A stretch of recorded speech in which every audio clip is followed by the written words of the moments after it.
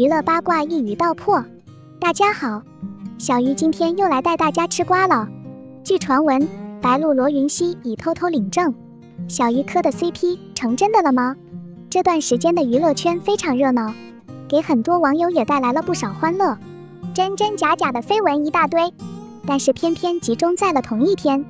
各位明星更是为了自己的绯闻辟谣跑断腿，其中被造谣最多的莫过于明星之间的感情归宿，比如杨幂和魏大勋领证，赵丽颖和冯绍峰离婚之类。但这两个听上去就是假的，让人感觉一真一假的是白鹿和罗云熙的绯闻。两人因为合作电视剧《半是蜜糖半是伤》获得极高的关注度。关于被传领证结婚，罗云熙的后援会也及时回应，称假的。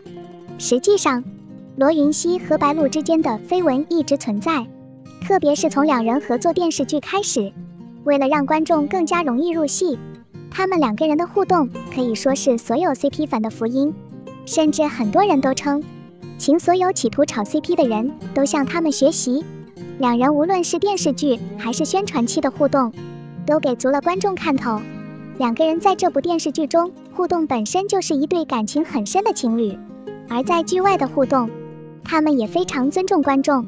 大家都知道，现在炒 CP 很容易获得流量，但有的艺人又当又立，想要炒 CP 获得流量，但是又把自己的姿态摆得非常清高。比如凭借网剧流利获得极高关注的程毅和袁冰妍，很多 CP 粉因为程毅在宣传舞台上的避嫌行为脱粉。而罗云熙和白鹿两个人的互动是非常得观众心意的。而且两个人都是很年轻的演员，在外形上看起来也非常般配，至少给很多观众的观感是非常不错的。在他们看来，两个人就是谈了一场甜甜的恋爱。但是毕竟是角色需要，如果把这些感情投入在演员本人身上，就有点不必要了。罗云熙本人被称为古装男神，他的古装扮相非常惊艳，但是没想到罗云熙的现代装也会有这么惊艳的效果。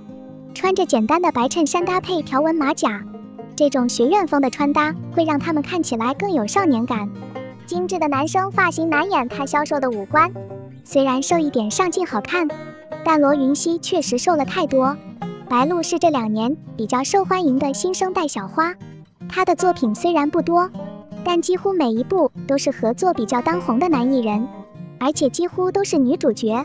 就是因为她的形象确实很符合一些电视剧的角色需要，简单的黑色内衣搭配破洞牛仔裤，可清新也可御姐范儿。最近罗云熙、白鹿主演的《长月烬明》在热播，两人的二搭也让不少网友又磕了起来。一段花絮在网上疯传，这段花絮就是罗云熙和白鹿拍摄澹台烬和叶希雾大婚时的花絮。这段剧情其实挺虐的，白鹿饰演的叶希雾。要攒够九颗灭魂钉，才能杀死魔神，灭了邪骨。而这九颗灭魂钉必须要魔神澹台烬真心爱上叶希雾之后，才能由灭魂珠泪变出来。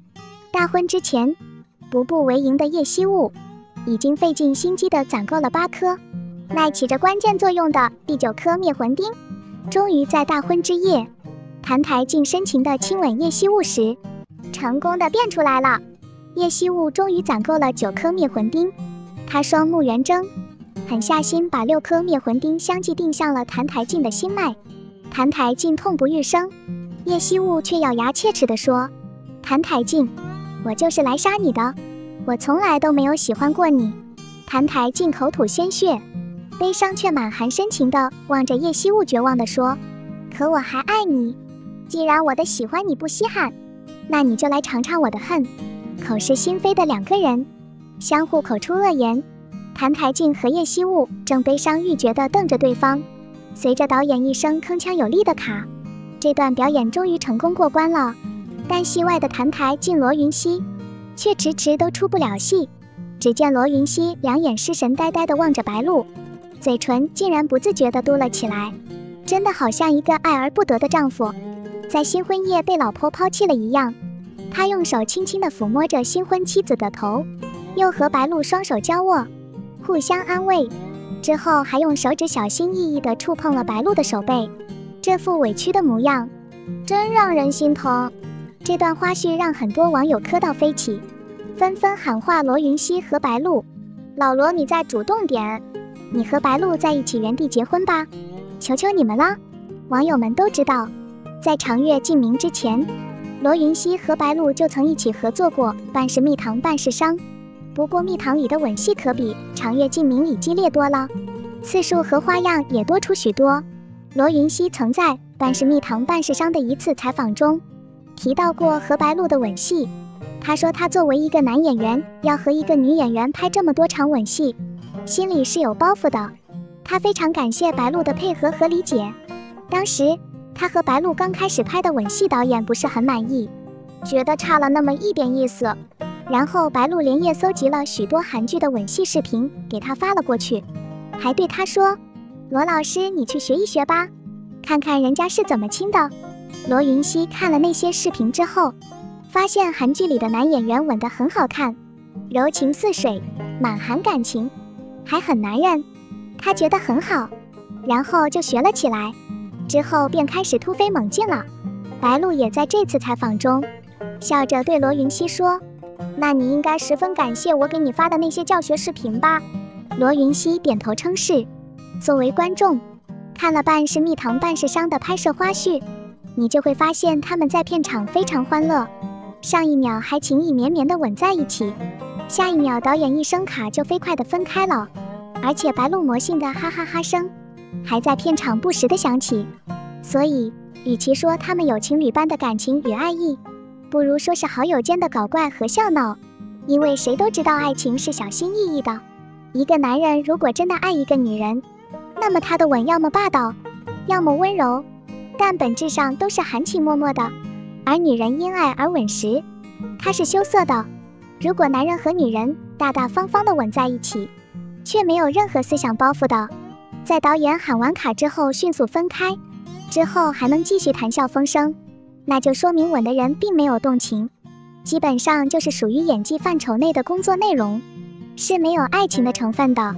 爱情，爱情重在情，亲吻虽然是爱情的重要表达方式。但侧重点还是在于情与爱，而不是吻的动作有多么好看和激烈。罗云熙和白鹿亲吻了很多次，他们吻出真感情了吗？